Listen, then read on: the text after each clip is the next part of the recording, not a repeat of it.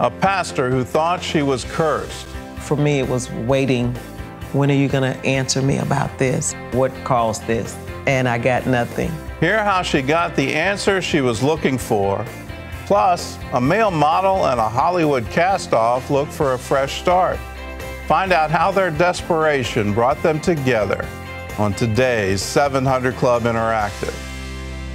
Well, welcome to the show. This month, the Canadian Supreme Court dealt a blow to religious freedom.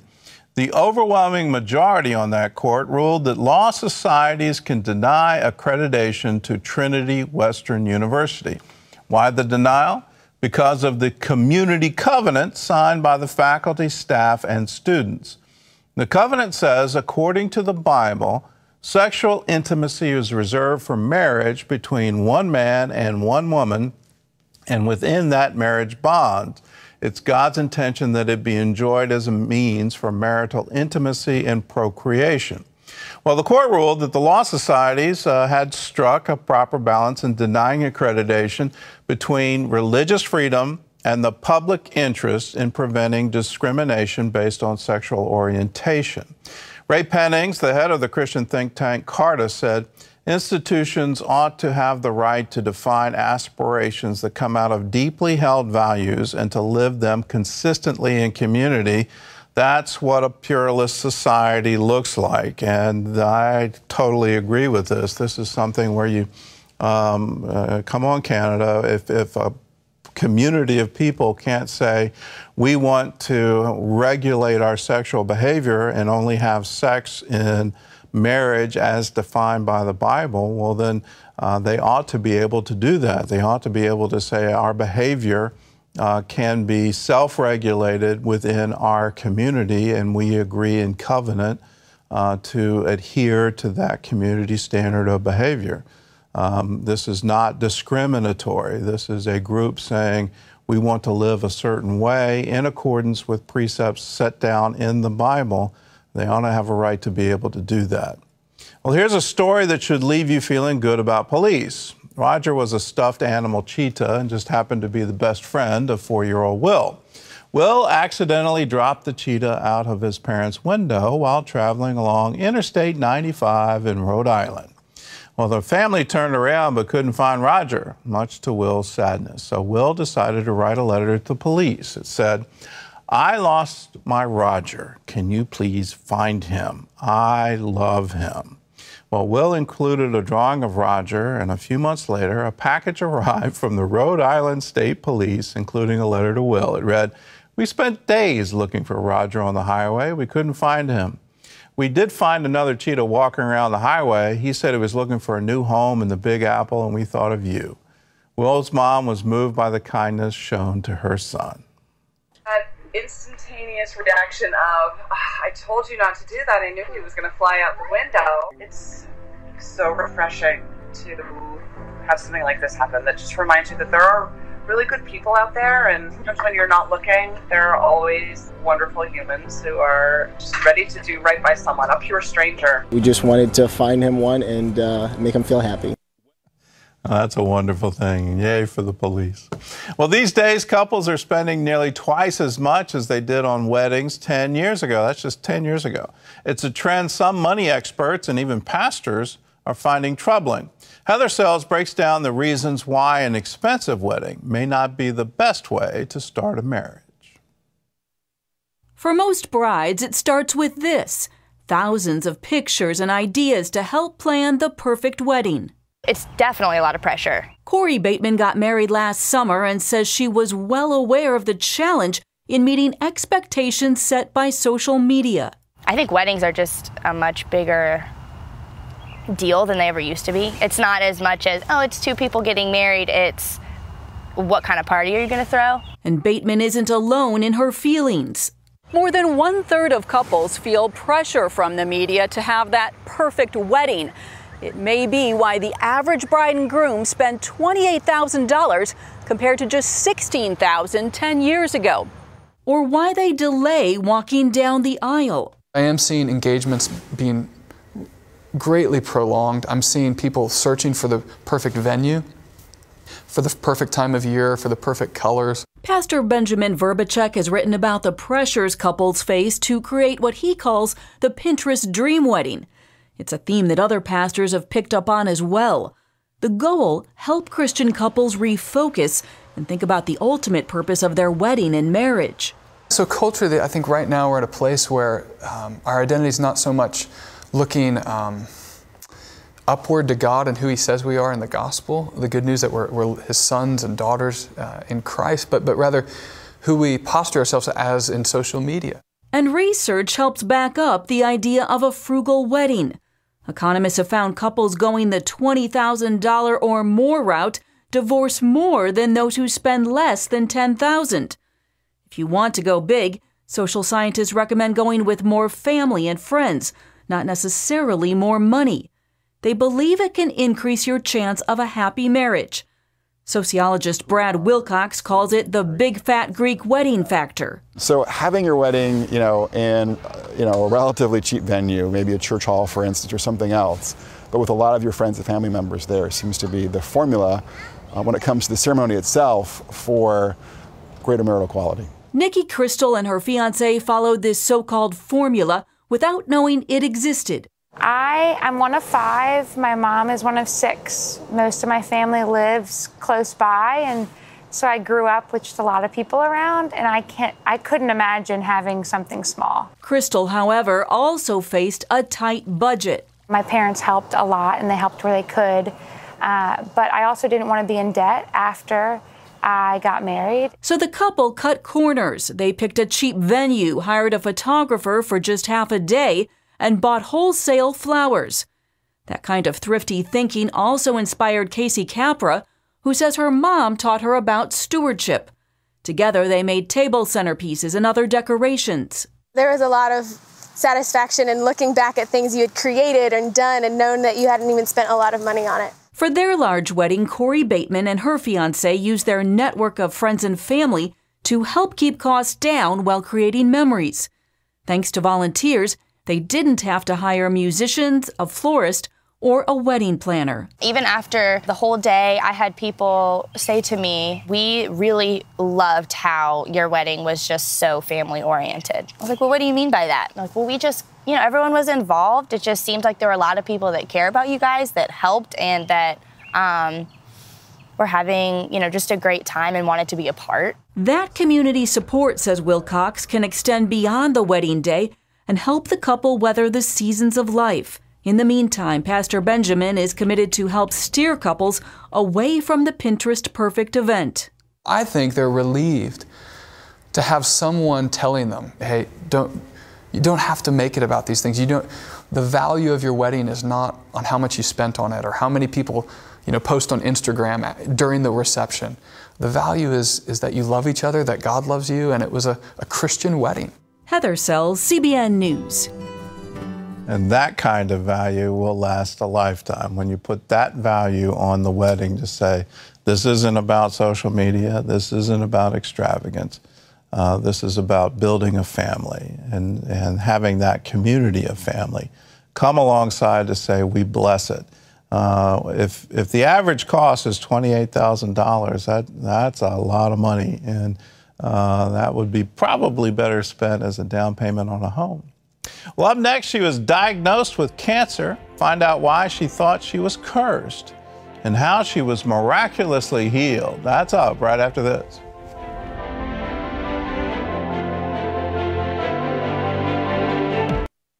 Joy, peace, and freedom. Those are the three words Maybelline uses to describe how she's feeling today. But it wasn't always like that. Just a few, few years ago, she was diagnosed with aggressive cancer, and the disease wasn't just taking a physical toll. Maybelline Stervident had biopsies before, but this time she was called into the doctor's office when her test results came back. The doctor just walked up to me and he says, I'm just gonna be blunt with you. I'm just gonna tell you, you have cancer and it's malignant. And he said, I'm gonna send you over to an oncologist and then you'll have to go to surgery. How in the world did this turn into cancer? Maybelline's aggressive stage 3 malignancy required chemotherapy, radiation, a mastectomy, and reconstructive surgery.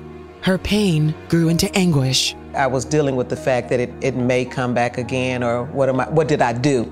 Am I being punished for something that I don't even know what I did? It was a bit of torment, not knowing what I had done or what could have caused this.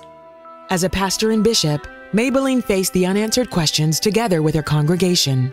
I never stopped ministering. I never stopped coming to church. I attended even when I wasn't preaching, unless it was, you know, too bad that I couldn't get there.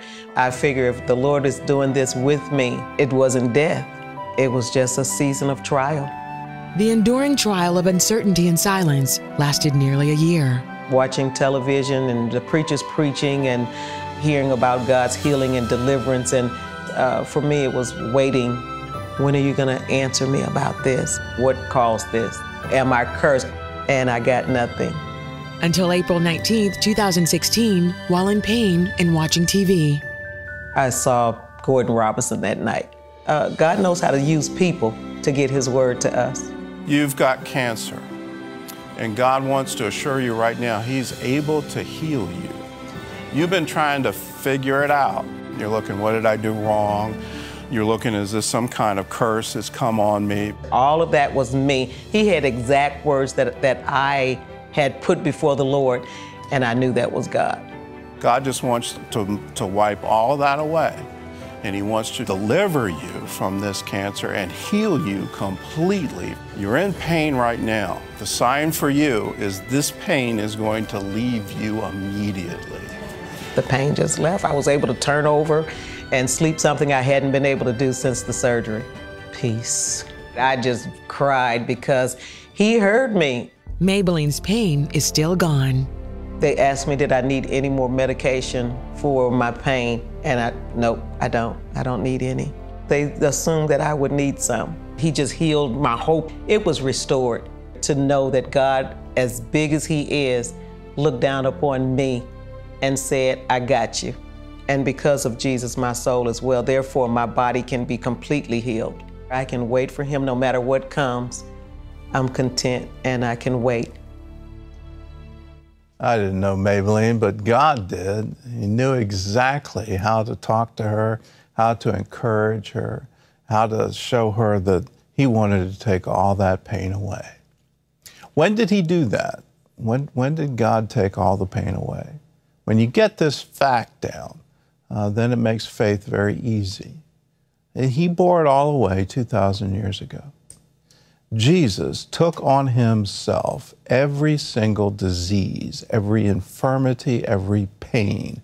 He took it all 2,000 years ago. Along with that, he took every single sin. And he took it to the cross, and there it died with him. And then the great news three days later, he rose again. And the sin is no more, the pain is no more, the infirmity is no more. He took care of it for all people for all time, and it happened 2,000 years ago. And the great news Jesus is the same yesterday, today, and forever. What he did 2,000 years ago, he is doing today. It still works. The blood will never lose its power. Now, let me pray for you right now, and let's just believe God. When the Bible uh, talks about uh, prayer, it, it's always very encouraging thing.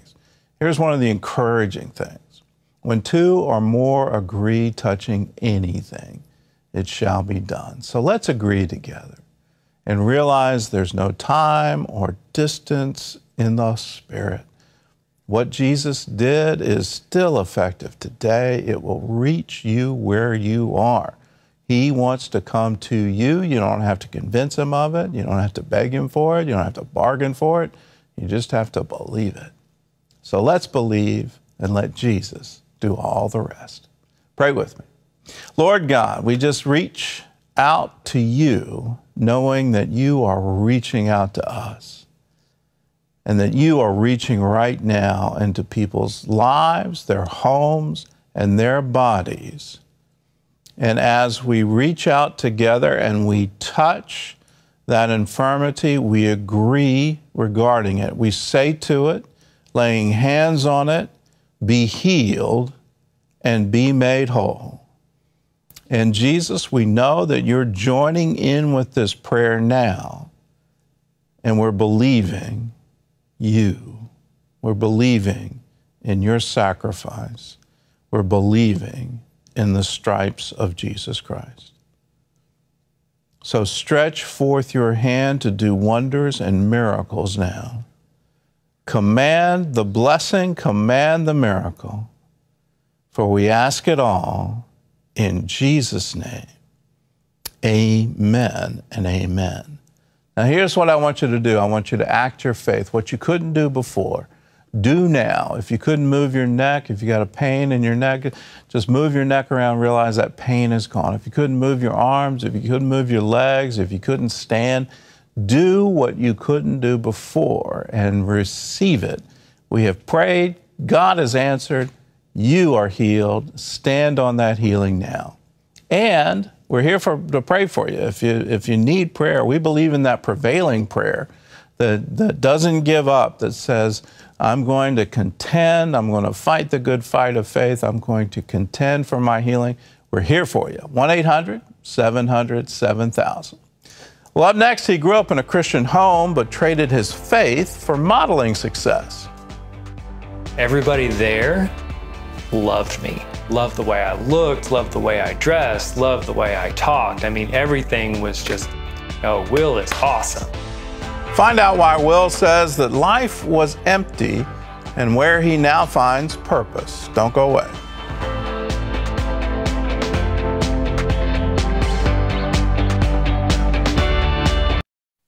Renee was an actress who believed sex was the answer for everything. Will was a model who would sleep with anyone to get what he wanted, and the two were living their dreams.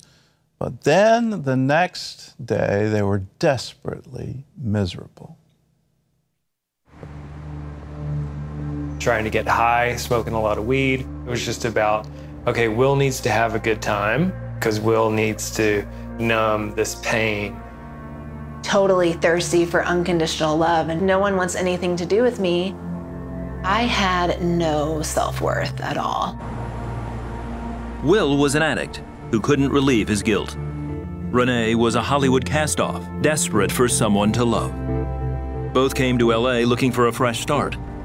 Their desperation brought them together. Renee was adopted and raised in a broken home. As the only Middle Eastern girl in small town Kentucky, she never felt like she belonged. Everyone was blonde, blue eyes, had dimples, had like little button noses, like just looked like little Britney Spearses everywhere, okay? I felt like I had to be beautiful and I felt like I wasn't beautiful at all. I told myself, as long as you have a banging hot body, you're set. It doesn't matter if people love you because you can get that void filled by sleeping with somebody. I just felt like sex could fix everything. Will was a different story. He was a pastor's son, had a loving family, and was a devoted Christian. He started preaching at 13, earning the admiration of those around him. But by college, it was more about the attention than the message. My relationship with God was really dwindling because I was strictly going through the motions. The kudos and the recognition, it feels good. Being able to brag to my buddies that, oh yeah, I got invited to go here. And, yep, going out of town again, you know, sorry, I can't hang out. Then Will got a job that boosted his ego even more as a store model at Abercrombie and Fitch. Everybody there loved me. Loved the way I looked, loved the way I dressed, loved the way I talked. I mean, everything was just, oh, Will is awesome. And all it was was pride. Will started pulling away from his church and eventually left the ministry to work in the fashion industry. As for Renee, she had moved to Hollywood with dreams of becoming an actress. Within a few months, she starred in a national commercial with Jessica Simpson, booked guest spots on Desperate Housewives and Ugly Betty, and even received a personal invitation to the Playboy Mansion. I had basically gotten everything that I had ever wanted handed to me, but I still wasn't happy. I just wanted some kind of unconditional love. I wanted someone who just found me to be the most amazing person in the world. It was then she started dating a well known actor, and moved in with him. But it was not the fairy tale she had been hoping for. He cheated on me. He would go drink and do drugs and end up in the hospital and then call me from the hospital and say, I drove him to do that. But I just wanted to be loved so bad, I didn't care. Meanwhile, Will signed with an agency in New York City and was modeling for Armani, Puma, Bloomingdale's, Emporio, and Gucci. I felt like I had arrived. People were awesome. I loved them. They loved me. But success came with compromises and a growing sense of guilt he couldn't shake. I was doing all these things that were wrong, going against everything I was taught. I was willing to sleep with whoever. I was willing to do any kind of drugs. I still had these moments where I felt like it was just me and God in the room. And he was just, What are you doing? What are you doing, Will? While Will's career flourished, Renee's was about to crash. A sex tape she made with her boyfriend was leaked to the tabloids, destroying her professional and personal life.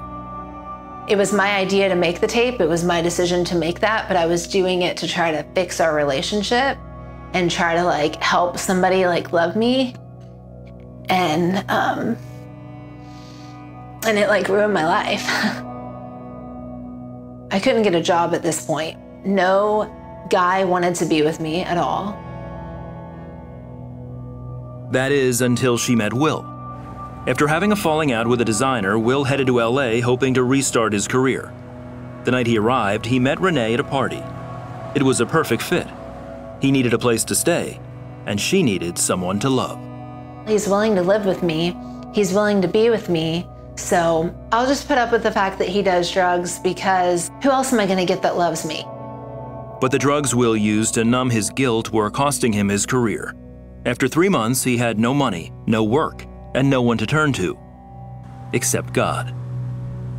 I said, God, I'm, I'm done. I don't know if you still love me. I don't know if you still have something for me. I just know that I can't continue doing what I'm doing right now. I just wanted to be in church because it had been years since I'd really been in church. I remember going up to the altar and praying. As much effort and energy that I exerted for myself, that's exactly how much I want to give back to you. You're my Heavenly Father, and I'm like a prodigal son. Gradually, Will stopped using drugs. But Renee noticed that wasn't the only thing different about him. He started to have a lot softer heart. He started to not be so angry. He started to be kinder with me. Then, he did something that made Renee's heart stop. He said, We're not going to live together anymore. And we're not going to sleep together. And I was like, No, no, no, no, no, no, no, no, no, no, no. no, dude. No. If you stop sleeping with me, you will want nothing to do with me. I, trust me, I know. And he's like, Look, I'm going to show you that we will still date, we will still be together, I will still be faithful to you. And he like still called me. He still like took me out on dates and he really showed me like what true unconditional love was of like you don't have to sleep with somebody, you don't have to live with them, you can be faithful to them. That was just like a total depiction of Jesus and I felt like like I just like really like he really showed me God. A few months later, Renee gave her life to Christ. Two years later, she married Will. It was then she realized that God had given her the love she had always wanted. Genesis 50 20, what evil was planned against me, God used for good. And it's just like really cool because that's something like only He could do. In 2015, they launched The Night Shepherd, an organization that provides legitimate resources and personal support to those working in the entertainment industry. Together, they share how God fully redeemed their lives. I have found my identity in the Lord, that He made me perfect, and every flaw and every freckle and everything is perfect in His eyes. That, uh, that. There's no room for pride and God. And God says, it's not about your works, it's about what I've done.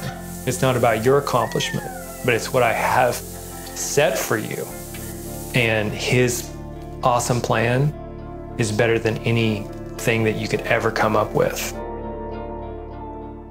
Unfortunately, Will and Renee's story, I think, is all too common in today's hookup culture that you somehow think that sex will bring love and bring worth, or um, and it never works out that way. And at the end of it, you're wondering, well, where do I go? What do I do?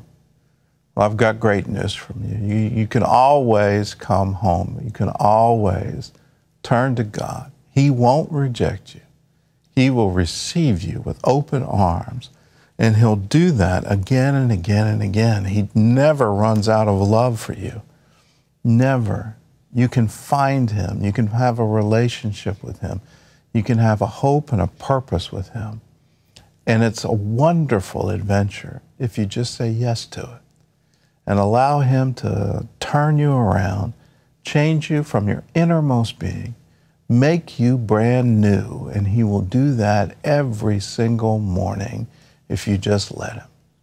If you want this, here's what I want you to do I want you to go to the phone, make a phone call 1 800 700 7000.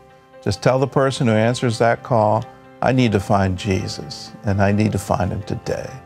We're not here to judge, we're not here to condemn. We're here to tell you God loves you, and he has a purpose for you. Here's a word from Romans. Therefore, receive one another just as Christ also received us to the glory of God.